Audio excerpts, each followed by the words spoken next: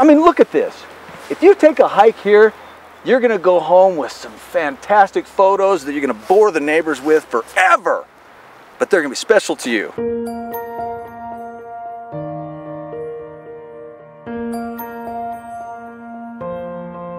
I have always looked up to my dad. It felt like he always had the answers. Well, Zion's National Park is just like that. You're in the valley, you're looking up, feels like they know something and they want to share it with you.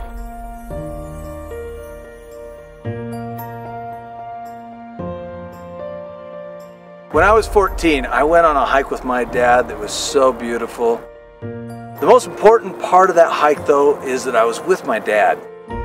That was the time he would take to encourage me. He would tell me I could do it. And I would dig deep down inside and I'd go, I can do it. I can make it. Well, that's what we're going to do while we're here. We're going to take all those memories when you were a kid and you caught your first fish, and we're going to put it in a painting so that you can relive those great stories and tell them to your kids. 17 years ago, we were here with my kids and they were young, and my youngest daughter was in the Jeep. Mm-hmm. Turned around, she's screaming because there's a deer halfway in the Jeep. And how old was she? Two, Two. two and a half years old. And, I mean, as close as you and I are Oh. right now. And how intimidating is a deer? Well, at two years old, that far away, it might as well have been a bear. He had his whole front of the body in the, trying to sniff her. So she doesn't like the deer. You know what? That's a totally different story. You know, we saw a deer, it scared us to death.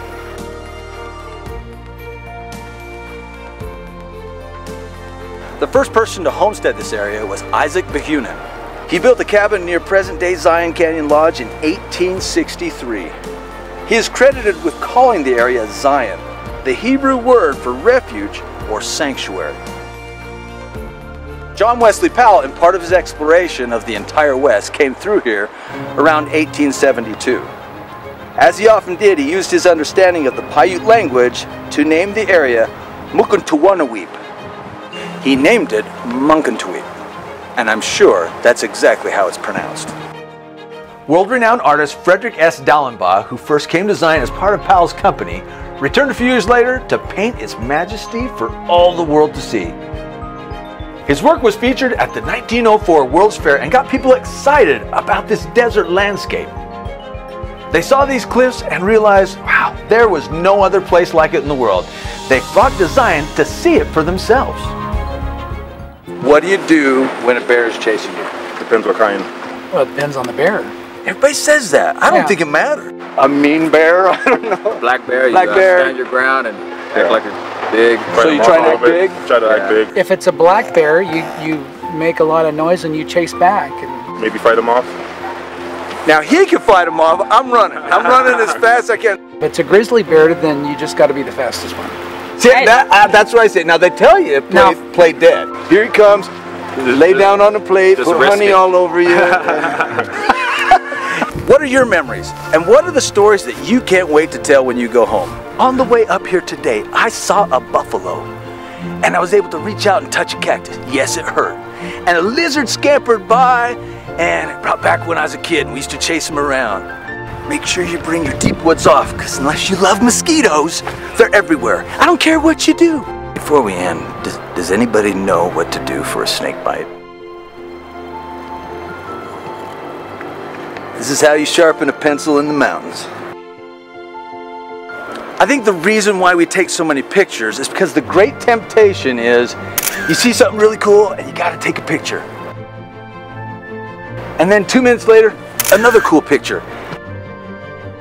And every angle, something is coming alive before your eyes.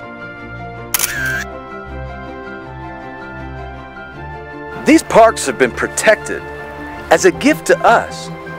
So when we say God bless America, He has. I mean, look around us. This is all for our enjoyment. We are truly blessed. I take my kids. We go hiking.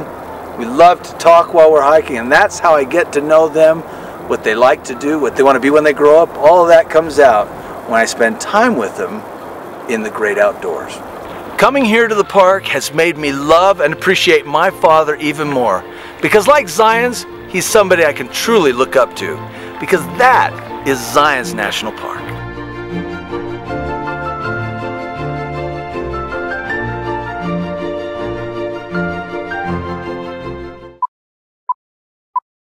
You get older, you don't do as many stupid things. Or so I was told. Man, it's got like a barb in it and it hooks out. Don't let it fool you, it really is a cactus. When you climb inside the tent and get in your sleeping bag, there's that moment when you feel like you're just creating a snack for the bears. There's no evidence that this was the Paiute name for the area. Oh, so let's say it anyway. I'm sorry, I was gonna say something else.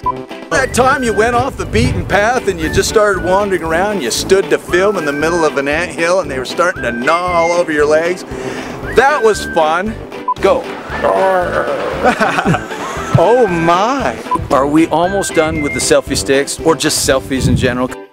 And think about it, we came this close to the turkey being our national bird. Oh, we did. Yeah, that was Benjamin Franklin's idea. I had turkeys on my farm, so I know the mating call.